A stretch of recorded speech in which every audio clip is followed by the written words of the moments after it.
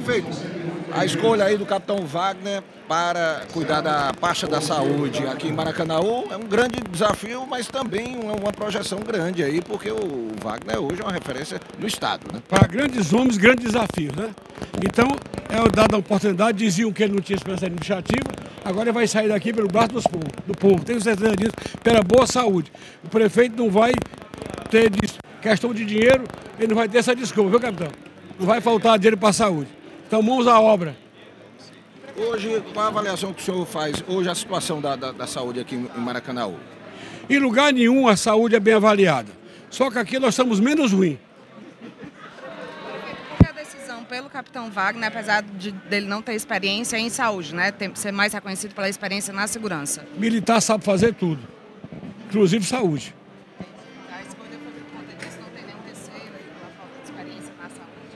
Olha, ele nunca. Ele, eu, eu, eu, assumi, eu botei aqui o Elane Facundo, nunca botou nem esparadrapo, mas foi um grande gestor.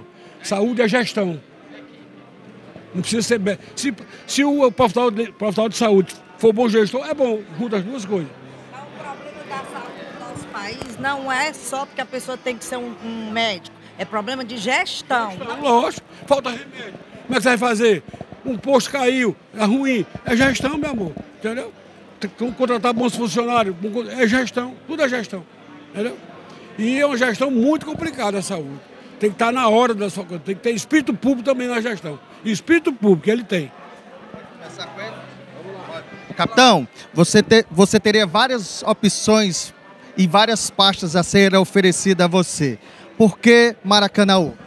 Olha, primeiro agradecer ao prefeito Roberto pela oportunidade. Eu acho que acima de tudo essa oportunidade vai é, poder permitir que as pessoas conheçam o Wagner gestor, já conhecem o Wagner parlamentar, já conhecem o Wagner da segurança, da educação, porque eu também sou professor, e as pessoas precisam conhecer o perfil de gestor que a gente quer assumir a partir de hoje. O prefeito nos dá a carta branca para que a gente possa, a partir de hoje, adotar as medidas necessárias para, primeiramente, humanizar é, o atendimento de saúde aqui no município.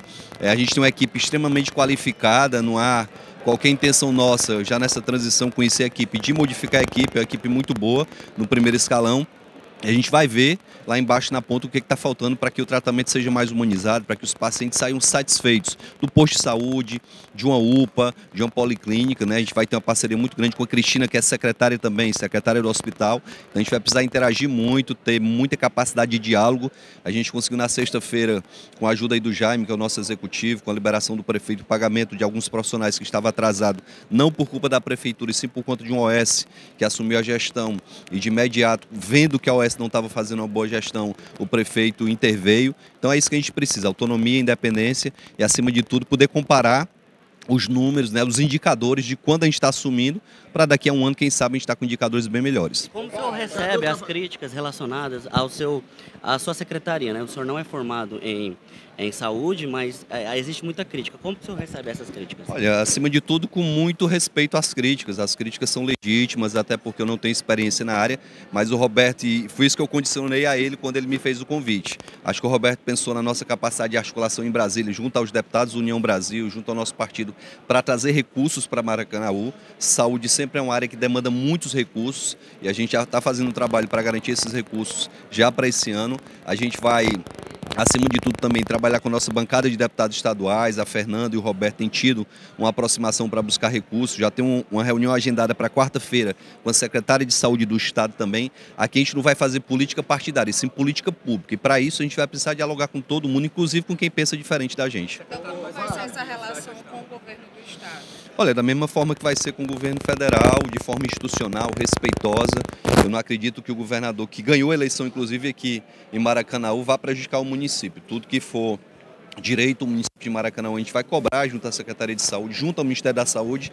Algumas pessoas estavam é, dizendo que eu fui buscar recursos junto ao governo Lula. Eu fui buscar recursos junto ao governo federal, que tem a obrigação de atender Maracanã e qualquer outra cidade do país. Então aqui a política partidária vai ficar para a época das eleições, para agora política pública de saúde e qualidade é a nossa prioridade. Ô Wagner, já deu para fazer aí, traçar um diagnóstico prévio da, da situação da saúde aqui em Maracanã?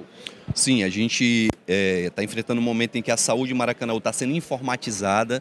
É, até bem pouco tempo ela era analógica e por conta disso os indicadores que são apresentados não necessariamente mostram a qualidade do serviço. Né, a falta de inserção dos dados no sistema do Ministério da Saúde faz com que os indicadores de Maracanã nesse momento não sejam favoráveis.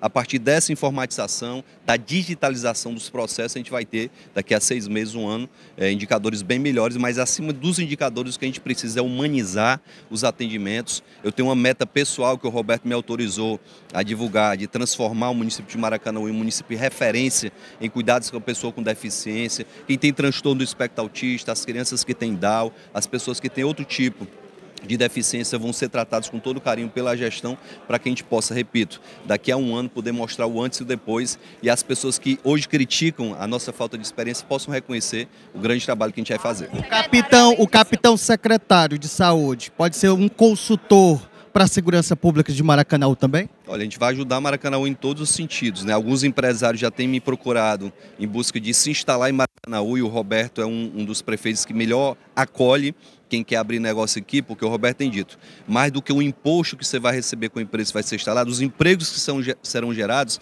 são mais importantes. Tem muitos empresários nos procurando, tem gente da área da segurança, tem gente da educação, eu quero ser junto ao Roberto esse link que vai trazer para o Maracanã o desenvolvimento, não só na saúde, mas em todas as áreas. Nós trouxemos a pasta também com a crítica de que houve muitas mudanças na titularidade da secretaria. Isso afeta também o desempenho? Como é que foi essa articulação nos últimos tempos para pegar a secretaria que já vinha de uma mudança? De... Olha, Roberto, como falou agora há pouco, tinha um gestor extremamente competente, um problema da justiça impediu que esse gestor continuasse à frente da secretaria. Como o Roberto falou, sem experiência na área de saúde, mas um gestor que estava alcançando um bom resultado. Espero que a gente tenha esses dois próximos anos tranquilidade para trabalhar com os pés no chão. A gente sabe que o desafio é muito grande. Eu poderia ficar em casa tranquilamente administrando União Brasil, mas eu aceitei esse desafio que vai consumir muito tempo é, meu, é, sabendo que é um desafio grande, mas que a gente tem capacidade, junto com a equipe técnica que existe aqui, de fazer um grande trabalho. E a importância do concurso público? Só um momentinho. Secretário, alguns projetos o senhor trouxe e pretende trazer ainda enquanto estava como candidato para a saúde de Maracanãú, como mutirão de cirurgias seletivas e tudo mais? É, a gente tem no meu mandato de deputado federal, uma das marcas foi os, foram os mutirões é, de cirurgia de catarata, que o Roberto já realiza aqui. A gente quer ampliar, a gente quer trazer mutirões é, de exames, como por exemplo a mamografia, é, acima de tudo, a gente acredita que a prevenção é o caminho para que a gente possa encontrar o melhor resultado. Então, é, esse vai ser o grande foco da nossa gestão: prevenir, humanizar, cuidar das pessoas, com o mesmo carinho que o prefeito trata, desde o porteiro do prédio até os secretários que aqui estão. O nosso prefeito é referência, eu quero ser referência também dentro da Secretaria de Saúde aqui do município. A secretaria também vai ser uma resposta e a muitas críticas que você recebeu quando concorreu a cargos majoritários de que não tinha experiência, é também, querendo ou não, tem um viés aí?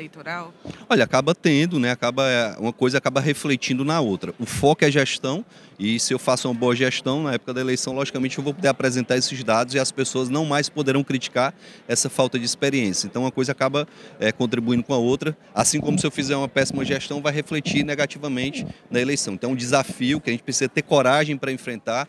Como eu disse, eu poderia ficar acomodado esperando chegar a eleição em 2024 para aparecer novamente, mas a gente prefere assumir esse desafio, que é um grande desafio na minha vida, e eu agradeço essa oportunidade ao Roberto, à Prefeitura de Maracanã, que acreditou no nosso potencial. E a questão do concurso público, que o senhor foi até Brasília né, para trazer essas novidades aqui para o município. O concurso é importante, é tanto que o prefeito já nos autorizou a ampliar o quadro de agente comunitário de saúde e agente endemias, para que a gente possa cobrir toda a área do Maracanã. É um município que territorialmente não é tão grande, mas tem uma população grande e, logicamente, que a gente vai precisar ampliar nossas equipes, a equipe de saúde da família. Também com autorização do nosso prefeito, a gente vai ampliar a equipe que, que trata da saúde bucal. Né? O nosso coordenador já trouxe essa demanda para a gente. Algumas demandas já surgiram, inclusive, antes eu assumir. E a partir dessa semana, conhecer as unidades de saúde, conversar com os coordenadores é, e poder já implementar o mais rápido possível as políticas que são necessárias para melhorar os indicadores. Tem previsão, não? Você ter chamado de capitão? Olha, como secretário que nada tem a ver com militar, então eu tenho dito até para a equipe, deixa o capitão lá no quartel e pode chamar de Wagner, pode ficar à vontade. E, na verdade, a gente deixa quem quiser chamar de secretário, de Wagner, de capitão. Deixa eu dar de jornalista aqui.